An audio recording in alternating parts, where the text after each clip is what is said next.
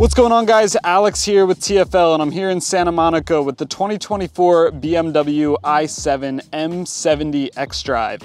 What a name. We've already done some videos with the i7, but not this top of the line M70 model. And one of the videos we've done with the i7 was a grumpy guy review where Roman kind of went through and said everything that he was annoyed with with this car. But I love performance, I also love tech, and this car is loaded with both of those things. So we're gonna look at this car from a fresh perspective, see what it's all about. Let's jump into the review. I'm gonna start by talking about performance and some of the drivetrain specs, and you can tell that this is the top of the line i7 by the badging on the side, and you get a peek of the big brake calipers. Really impressive 0 to 60 time. It's listed at 3.5 seconds, which is awesome for a giant limousine basically that weighs over 6,000 pounds. Top speed is 130 miles an hour and this makes a lot of power. 650 horsepower, so it's the most powerful 7 Series sedan ever from BMW and 749 pound-feet of torque, although you can boost that in the M Sport boost mode up to 811 pound-feet of torque. Dual motors, so you've got all-wheel drive, one motor at the front axle, one at the rear, and it's all powered by a 105.6 kilowatt hour battery. AC charging rate is 11 kilowatts. BMW says that'll take about 12 hours to charge up, but it does support DC fast charging up to 195 kilowatts, so the same rate as the iX M60, uh, so that should cut your charging rates significantly. And then for range, you're looking anywhere from 274 to 291 miles of range, depending on how it's configured. And also it is worth noting that there's a max range driving mode as well, so that'll limit the speed a lot to 56 miles an hour. It'll also deactivate climate control and that'll give you obviously the max range out of this. The design is pretty striking and this is a long car. I picked it up from a hotel valet this morning actually and everybody that worked at the valet was crowding around it, checking it out. So it definitely draws some attention and I think part of that is this two-tone paint job. I'm pretty sure they call this lower part liquid copper. I could be wrong on that, uh, but it's kind of got, in some sunlight, sort of a purplish hue to it. Not sure if I'm the biggest fan of the color of this one, uh, but I do like the look of two-tone paint jobs on luxury vehicles like this. I think it's pretty cool. Nice looking two-tone wheel design as well. These are 21 inch wheels, although you can option uh, this i7 M70 with 20 inch wheels if you want a little more tire on there. And up front, you'll find the pretty massive BMW kidney grille. It's got the active shutters in it, and this is either a design that you love or you hate really controversial when it first came out. It's definitely grown on me a little bit, uh, but that's what you find up front. And then if we look to the side of that, you can see the headlights are kind of in this lower section here. You can see the big projector bulb over on this side. And then if we move up, we've got our running lights here, which if you look closely have a pretty cool crystal design to them. I think that's a nice touch. All right, now we get to take this i7 M70 for a little drive, and we're in a pretty fitting place to do that. We're here in the LA area, Santa Monica, by the beach, where these things are probably seen more often than anywhere else in the country. Now, there's a good part to that and a bad part. The good part is that the roads around here are really rough and bumpy, so get to put this suspension, this super advanced suspension to the test. The bad part is we're in the Performance M70, and we've got a ton of horsepower and not a lot of room to put that to use. But that's all right, we can still get a feel for the car and I'll give it a little bit of gas here. Keys went flying. Wow, that's got some power. That was the first time I floored it. And uh, yeah, that's snap your neck fast, which is uh, impressive for something this heavy. Stuff is flying everywhere. I'll hit the boost mode and do that one more time. Yeah, quick, very quick. That's uh, a car this heavy and this luxurious and plush doesn't need to have that much power. But why not? It's pretty fun and it's putting a smile on my face. Once you get out of the throttle a little bit and you're just rolling down the road, it is really comfortable. I mentioned the seats, they are super, super plush, so that gives you a lot of comfort going down the road, but also this car just floats. And there's a lot of times when I roll up to like an expansion joint or a bump in the road and I'm expecting a big jolt because that's what you get in a lot of other cars or most of the cars I own or drive on a regular basis. I don't usually drive $150,000 cars all that often. But yeah, you come up to these expansion joints, you expect it to, uh, you know, shake the car around a little bit. But most of the time, you just hear the noise in this car and it's a pretty quiet interior, but you can still hear the potholes and the expansion joints. But you don't feel them nearly as much as you would in any other car. And that's sticking out to me. It would take me hours to get somewhere here in LA where I could really put my foot into this and open it up, test the zero to 60. It's just not gonna happen here in Santa Monica. But the good news is I kind of felt what straight line acceleration, at least for a second or two, feels like. And that's what a car like this is about. This isn't a car you want to, you know, take to a racetrack and corner in or go tear up the twisty roads near your house. It's not that kind of performance car. It's a luxury car that goes really quick in a straight line. Found my car keys though. They launched to the back during that and they were all the way up here. Made it to the back seat. It is a head turner. I have noticed a couple of Porsches, one right there, uh, turn their heads as I'm driving by. People are definitely curious about this car and it's definitely striking. And man, it is quick. If you actually like just need a little bit of passing power to get on the highway or something, you have to be really delicate with the throttle. Because if you just kind of step into it like a quarter or halfway, you're moving pretty good. And if you have loose things around the cabin, they're gonna start moving too. Overall, just super powerful um, and so comfortable. It's crazy that something that just floats down the road this comfortably can uh, go that quickly and accelerate that hard. Besides that, we've got all kinds of driving modes. I talked about the boost mode before. Um, when you change modes, the suspension will change. You can change the regen braking. I've got it in kind of the adaptive mode right now, so it's deciding what to do. But overall a really nice driving experience. Not frustrating to drive at all. In fact, really fun and nice to drive. I'm loving how this is going down the road. Um, yeah, sometimes playing with the screens and like getting my phone to connect to the Bluetooth took me a second to find in the menu, but once you're actually going down the road, it's really good. All right, well, most of the magic of this car is on the inside, and it's actually in the back seat, but we're gonna start with the front seat, get that stuff out of the way. Lot going on on this door handle here. So you've got a button over here on this side, this kind of panel with the lines in it to lock. You've got an automatic door opening button right there, kind of in the middle. And then you've got a traditional style, it's an electronic popper, but a handle style pull on the inside there. So if you walk up to this car this way and press the automatic button, the door will pop but it won't actually open all the way until you flip around and give it some more space and then sometimes it needs to think a little bit. So let me close that again. And it doesn't want to work, so I'll close it manually. But if you walk up to it kind of from the back here and stay out of the way of all the sensors, it'll open up for you, no problem. Before I hop in, I'll kind of show you around a little bit, give you a look at the seats, which are an interesting mix of kind of a leather upper material and somewhat of a cloth lower. Uh, I really like the seats. They're really comfortable, although this cloth is leaving some dust and little lint all over the steering wheel. I noticed that kind of flying around the car as I was driving. Uh, pretty low miles on this, so maybe that would get better with a little bit of time as they get worn in, uh, but that's one thing I noticed. Very comfortable though. Really nice looking M steering wheel here in the front seat. I love the blue and red stitching. I like how thick the steering wheel is. It feels real nice in your hands, flat bottom. It's got some cool design elements here at the bottom as well. But I'm gonna hop in and take a seat.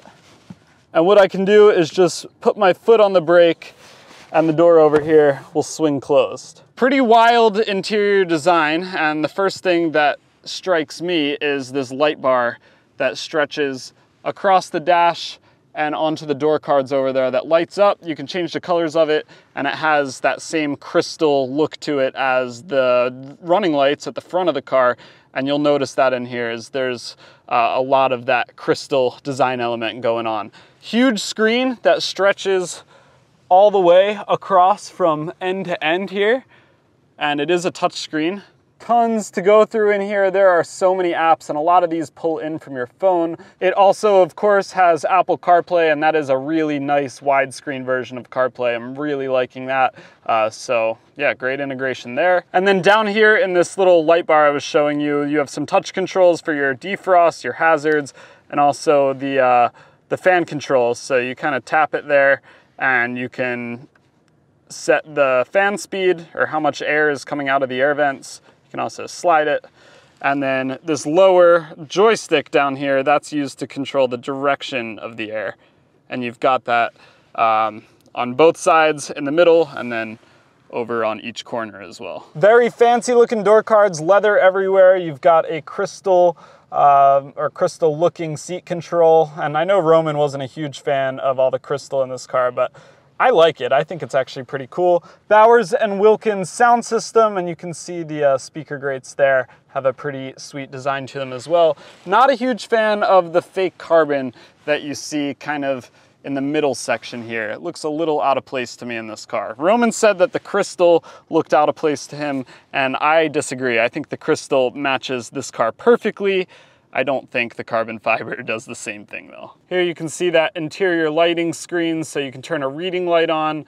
Um, you can turn the ambient lights on and change the color of those. So right now it's set to this kind of pink color, uh, but you can come in here and choose from a lot of different options. So we'll go indigo and you can see everything kind of changes down here. You can change the brightness, a lot of things you can do there. I'm not gonna go through all the different screens and all the different, you know, menus and modes because there's way too much to go through, but you have a pretty nice charging screen. I'll go through some of them. So this will, you know, show you everything you need to know as to do with the battery and the charging for the car. I also wanted to show you the uh, seat comfort menu because there's a lot of stuff to look at in here. So you can control your climate control. It's of course got heated and ventilated seats, uh, heated steering wheel as well.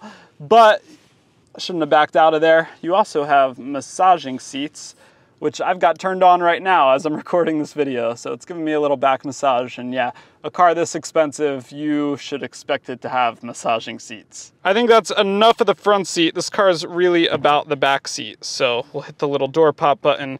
The door didn't automatically open. So Roman's right about that. Sometimes the doors are a little fussy, but let's look at the back. This is really what I've been excited for is to take a look at the back seat because this is a car that you're supposed to be driven around in not uh, driving yourself. And it's all about backseat luxury in here. There is a little button on the door card here. You press that and the door will come closed. Little screen on there, we'll get to that in a second. Huge amounts of legroom, really nice, comfy looking headrests up there.